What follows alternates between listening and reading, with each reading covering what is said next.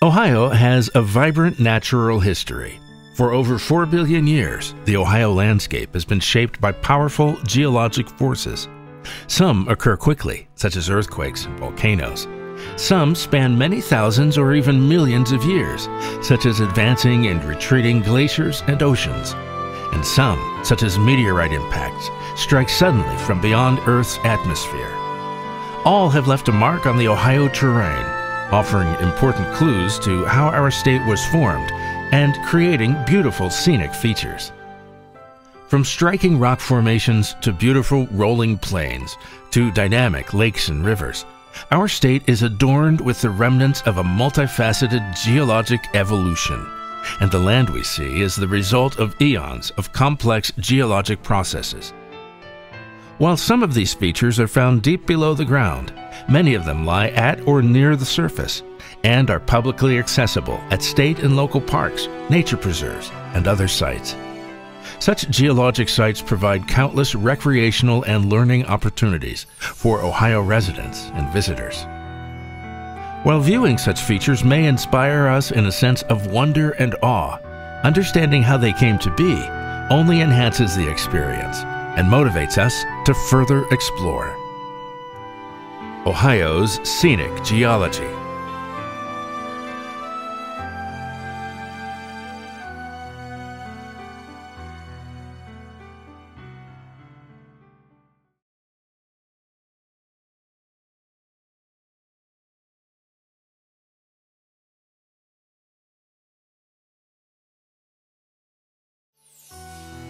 For those familiar with Ohio's scenic geology, few places in the state compare with the beautiful Hocking Hills region of southeastern Ohio. The scenic features of the Hocking Hills are formed in bedrock that was deposited more than 350 million years ago during the Mississippian period, when Ohio lay under a warm inland sea. Rivers flowed into the vast body of water, carrying both fine and coarse grained sands, which settled to the sea bottom. Over the centuries, the accumulating sand thickened, compressed, and formed the hard sedimentary rock known as Blackhand Sandstone. Subsequent eons of uplift and stream erosion created the picturesque landscape we see today. The Blackhand features both hard zones, which are resistant to weathering above and below, and softer zones, which are more prone to weathering, sandwiched between them. The contrast in these zones results in dramatic overhangs, recesses, and shelter caves common in the region. Such features are most prominent in the vicinity of Old Man's Cave, where visitors can explore shelter caves, narrow gorges, and natural waterfalls. The recess caves at Old Man's Cave and nearby Ash Cave are carved in the soft middle zone of the Black Hand Sandstone. Another popular destination lies off State Route 374 in southern Hocking County. A giant horseshoe shaped precipice, 150 feet high, known as Cantwell Cliffs. Here, large fallen rocks and narrow passageways beckon explorers of all ages. And just down the road, the beautiful and remote Rock House sets within a massive 150 foot high cliff face. Stone steps lead through the windows of Rock House to a tunnel like passage 200 feet long and 25 feet high. Other features worth exploring can be found at Cedar Falls and Saltpeter Cave and Conkle's Hollow State Nature Preserves. One of Ohio's most fascinating and photogenic sites is found at Rockbridge State Nature Preserve in nearby Rockbridge, Ohio. Here, visitors will find Ohio's largest natural arch, Rockbridge Natural Bridge, which is carved out of the Black Hand Sandstone. As evidenced by the Hocking Hills and other geographic regions, the Black Hand Sandstone creates a rugged topography and is responsible for scenic features in many localized areas of eastern Ohio. This rock gets its name from a large, dark hand-shaped petroglyph, a type of inscription that was engraved on the face of the sandstone cliff found at Black Hand Gorge State Nature Preserve. Many Native American legends were passed on to early pioneers about the origin of this Black Hand, the most prominent being that it marked the boundary of a sacred Native American territory where no man was to raise his hand against another. In the vicinity of Yellow Springs, Ohio, we find another area greatly shaped by ice and water over the course of millions of years. Here, John Bryan State Park and the adjoining Clifton Gorge State Nature Preserve owe their existence to the power of the Little Miami River. Entering the area at Clifton, Ohio at 980 feet above sea level, the Little Miami drops 130 feet through layer upon layer of bedrock, including dolomite, limestone, and shale. Each layer has a story to tell of the times when the area was covered by warm, shallow seas, or it was a part of a muddy river delta, or was scoured by tons of slow moving glacial ice. Each layer has its own characteristics as well. Some of the shale layers are easily worn away by the forces of erosion, causing undercutting in the cliff face. The more erosion resistant dolomite and limestone rocks above are weakened by this undercutting causing large blocks of rock, called slump blocks, to fall away. The results are unusual rock formations, including Steamboat Rock. The 268 acre Clifton Gorge State Nature Preserve protects one of the most spectacular dolomite and limestone gorges in the state. At one point, the river funnels through a deep, narrow channel formed in the resistant Cedarville, Springfield, and Euphemia dolomites. Clifton Gorge is the result of erosion by large meltwater rivers originating from the waning Wisconsinian Continental Glacier nearly 20,000 years ago. These now extinct rivers plunged over the edge of the Silurian bedrock escarpment near Xenia. It rapidly eroded the soft limestone and shales beneath the escarpment, leaving the more massive Silurian dolomites unsupported. Continued undermining and collapse of the dolomite resulted in Clifton Gorge. Because the different layers of rock forming the sides of the gorge vary in their ability to resist erosion, a distinct profile has developed. Resistant Cedarville dolomite forms the upper cliff, which rises 40 to 50 feet. Less resistant dolomites beneath the Cedarville have weathered out to form recesses. In many places, this undercutting has allowed the Cedarville to separate along fracture planes, and collapse to form slump blocks. Easily eroded shale forms the lower slope. Clifton Gorge is being slowly widened over time, as shown by the scars of recent rockfalls. Similar to Clifton Gorge, the rock ledges at Nelson Kennedy Ledges State Park are the result of a long-term stream and glacial erosion. These intriguing outcrops are among the few in northern Ohio that aren't entirely covered by glacial sediments. Here, visitors can observe rock known as the Sharon Conglomerate, a sedimentary rock formed during the Pennsylvanian period, some 310 million years ago. The Sharon overlies the marine shales of the Cuyahoga Formation, formed around 350 million years ago, when the area was an ocean floor. Throughout the park, polished and grooved surfaces, evidence of glacial erosion, can be found along the top of the ledges, Elsewhere, visitors will see house-sized blocks of Sharon conglomerate that have slowly crept away from the main cliff, creating a maze of passageways for hikers to explore and a home for a wide variety of trees, wildflowers, and other plants. Other impressive rock formations can be found throughout the state. Ohio is home to numerous caves, including Ohio Caverns in Champaign County, Olentangy Indian Caverns in Delaware County, and Seneca Caverns in Seneca County. Our state is also adorned with nearly 100 natural arches and bridges. Perhaps the most picturesque are Rock Bridge and Rock House, Trimmer Arch in Ross County, Ladd Natural Bridge in Washington County, and Raven Rock Arch in Scioto County. Numerous gorges and valleys are carved throughout Ohio's landscape, and give us a sense of the awesome erosive power of rivers, creeks, and streams. Some of the most scenic are found in Hocking Hills, the Paint Creek and Rocky Fork region of Highland and Ross counties, and within Cuyahoga Valley National Park, where the Cuyahoga Valley has been transformed by multiple glaciations and the flow of the Cuyahoga River. The result is a variety of scenic features, such as Brandywine Falls, Bridal Veil Falls, Blue Hen Falls, and Tinker's Creek Gorge.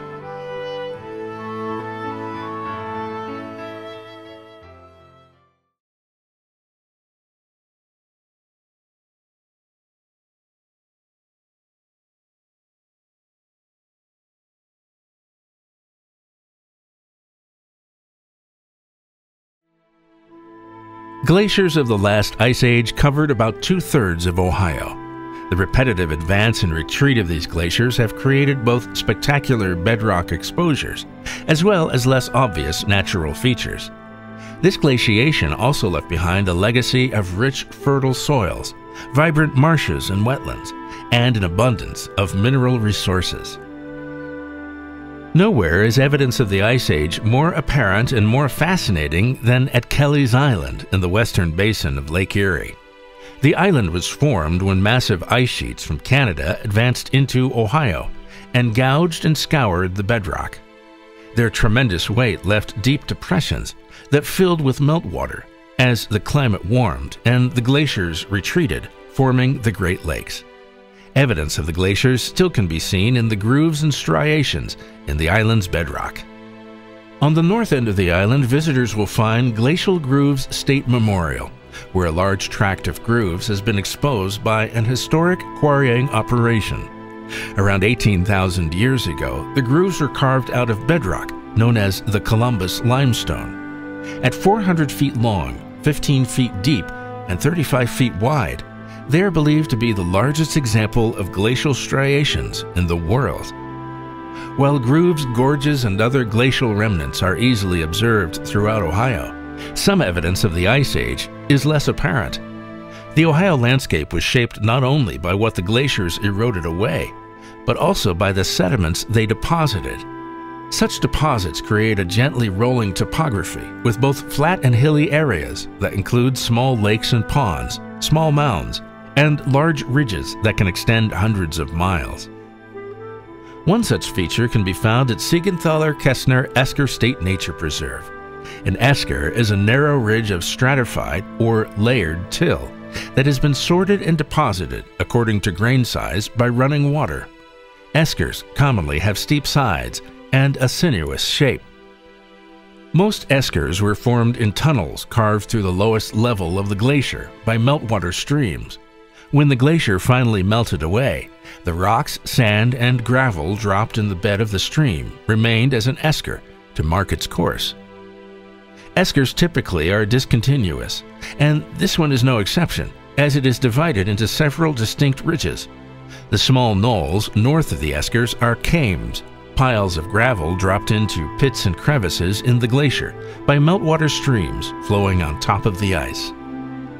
The wide flat valley west of the Eskers is an outwash channel made of gravel melted out of the glacier and deposited in sheets in front of its retreating edge.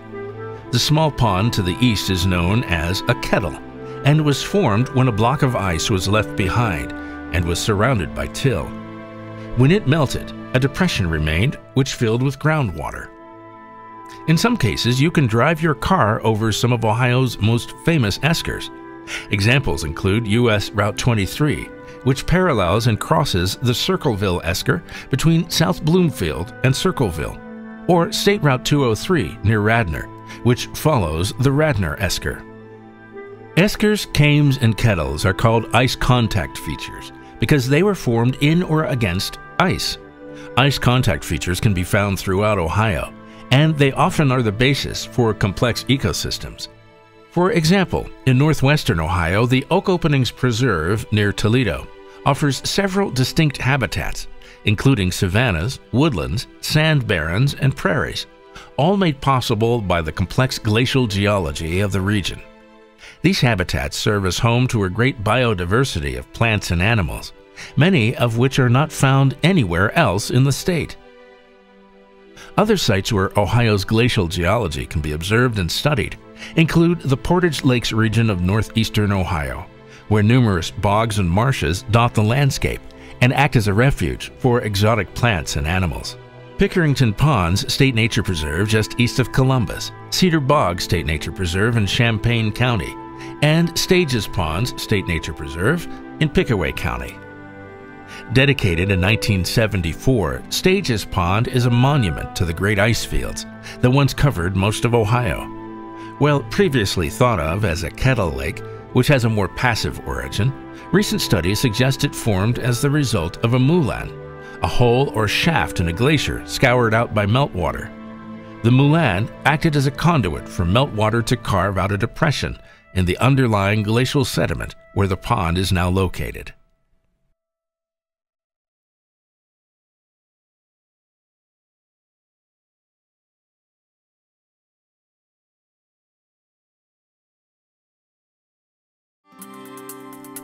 Lake Erie, too, has been shaped by glaciers of the Ice Age. Long ago, it existed as a basin or lowland valley of an ancient river system.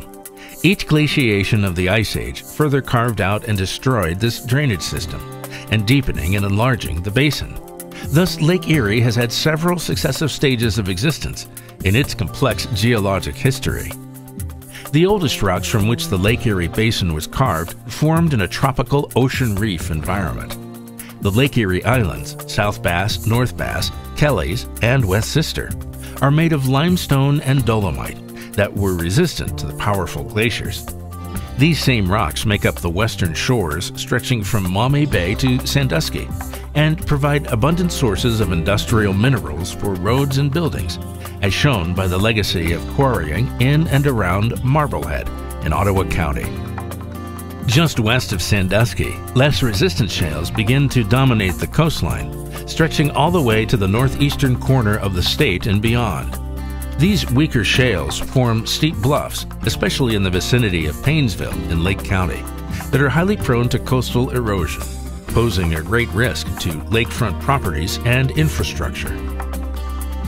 Lake Erie is an important source of water to shoreline communities and a mecca for recreational activities. The lake provides numerous habitats vital for many species of plants and animals as well, especially in its beaches, dunes, marshes, and estuaries. While extensive development along the shores of Lake Erie has all but eliminated the presence of sandy beaches and dunes, Headlands Dunes State Nature Preserve, located adjacent to Headlands Dunes State Park in Lake County, is one of the last natural beaches in Ohio. With the aid of man made structures known as jetties and breakwaters, Headlands Beach has changed dramatically since 1825. These structures help trap sand along the shore, creating longer, wider beaches and dunes. The result is a preserve that makes ideal habitat for plants and wildlife found nowhere else in Ohio, as well as a great public beach for recreation. Other vibrant areas along the lake include Cleveland Lakefront State Park, Sheldon Marsh State Nature Preserve, and Old Woman Creek State Nature Preserve, Ohio's only national estuarine research reserve. Old Woman Creek Preserve is one of the few remaining freshwater type estuaries in the Lake Erie region. An estuary is traditionally defined as a place where the land's freshwaters meet and mix with the saltwater of the sea, and where water levels are affected by tides. Lake Erie is actually a freshwater inland sea, and as a transition zone between land and water, the estuary brings together many kinds of life. Attracted by the water supply and abundance of food and shelter, birds, mammals, fish, reptiles, amphibians, and insects are drawn to Old Woman Creek Preserve, which features a variety of aquatic and terrestrial habitats marshland, open water, a barrier sand beach, upland forests, and old crop fields in early plant succession. Lake Erie is a dynamic, shallow body of water, allowing for violent storms with high waves. But there is no doubt it is one of Ohio's most valuable natural resources, providing for commerce, recreation, and reflection.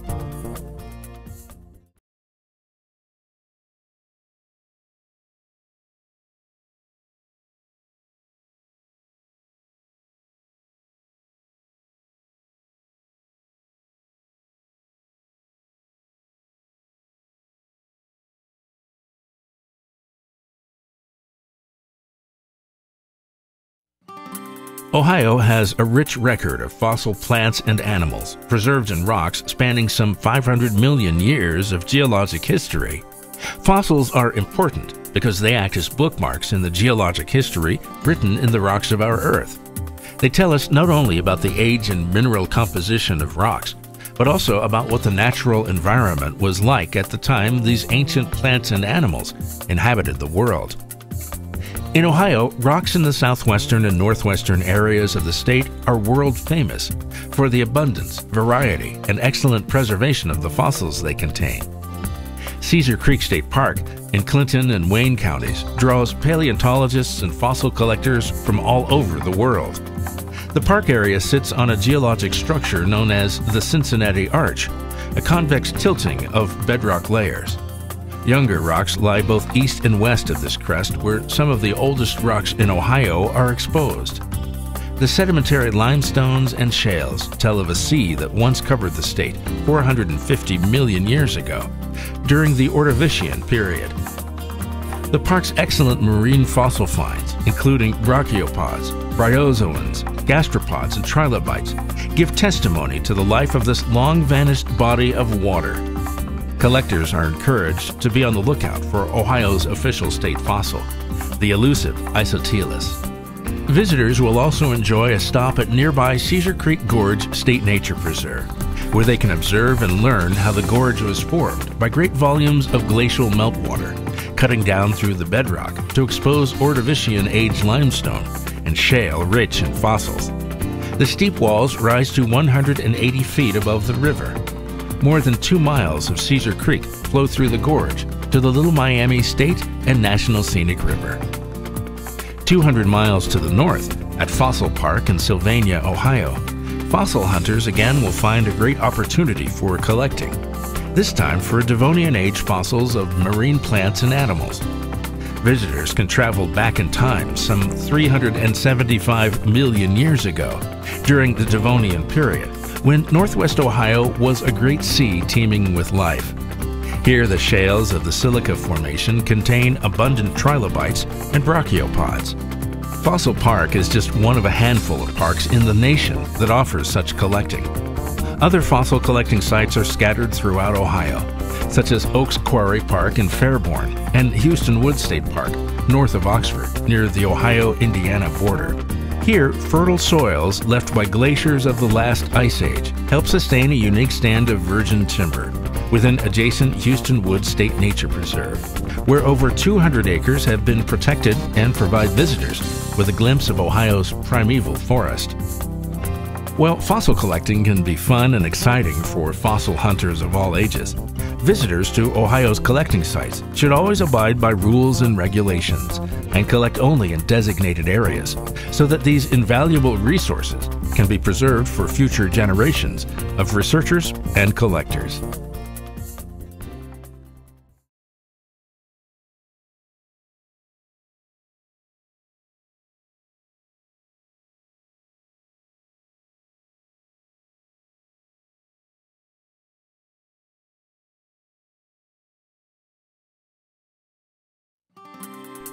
Ohio's fascinating natural features take many forms and teach us much about Earth's geologic heritage. Some of these features are small, some large, and some are difficult to find, and even more difficult to understand. And with further study, some of these features are given new explanations for their existence. For example, the Serpent Mound Impact Site, located in the Adams Highland Pike Tri County area in southern Ohio, is a rarity in the United States, as it is one of only 28 known comet or meteorite impact craters in the country. However, its origin wasn't always so widely agreed upon by Earth scientists. For decades, the nature of the Serpent Mound impact site was disputed, owing to its geologic complexity. The site previously has been interpreted as a so-called sunken mountain, and later as the site of an ancient volcanic eruption. However, technological advancements have aided recent geologic studies in determining its origin as an impact site. The impact occurred between 256 and 330 million years ago and is named after a prehistoric Native American effigy mound, shaped like a snake, that is found in the southwest portion of the impact crater. The force of the impact forever changed the landscape of an area more than five miles in diameter.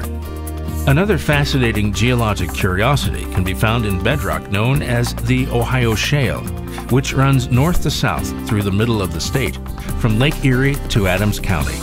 Along the outcrop belt of the Ohio Shale, one can find large spheres known as concretions. These orange-colored globes are made of carbonate rock with a core of calcite or barite, which typically surrounds a fishbone or fragment of fossil wood. They are formed enclosed within the gray and black shales, much like a marble pressed within the pages of a book, and range in diameter from a few inches to more than 9 feet. The origins of these stones abound. Concretions are found in the banks and hillsides along rivers, creeks, and streams, and in the beds of such waterways after weathering out of the shale and tumbling down slope. For example, concretions are common along the Huron River, Scioto Brush Creek, Deer Creek, and in the bed of the Olentangy River in southern Delaware County at High Banks Metro Park. The Olentangy cuts a scenic swath through the Ohio Shale, exposing concretions throughout and offering visitors a chance to study these intriguing stones. A tour of Ohio's scenic geology would not be complete without a stop at Flint Ridge State Memorial in western Licking County. Here, visitors can observe Ohio's official gemstone in its natural state. Flint can be found throughout eastern Ohio and has been an important natural resource since prehistoric times. Flint is a variety of quartz and is a hard, durable stone that can be easily shaped. It was sought after by Native Americans for use as tools, weapons, and other implements. These native peoples came to Flint Ridge to replace their worn out and broken points and artifacts. Later, settlers through Ohio used impure deposits of flint for burrstones to grind grain in their water mills and for grindstones to sharpen tools. Other uses included glazing for ceramics and to enamel glassware. Today, Ohio flint is highly prized for its color, hardness, and ability to take a high polish, and is sought after by collectors, lapidarists, and artists the world over, who use it to make beautiful jewelry.